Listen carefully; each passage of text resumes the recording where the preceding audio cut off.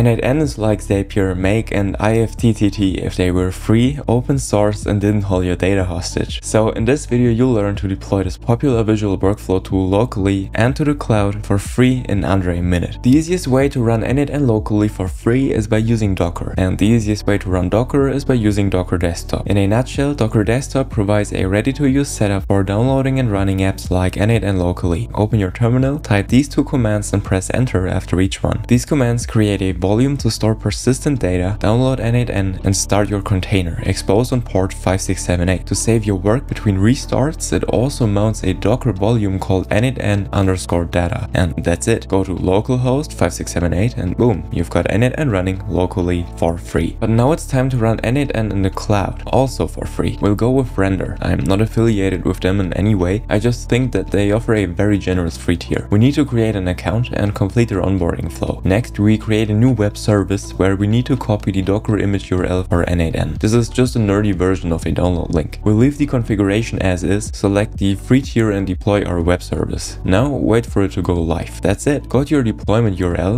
and boom, you've got N8N running in the cloud for free.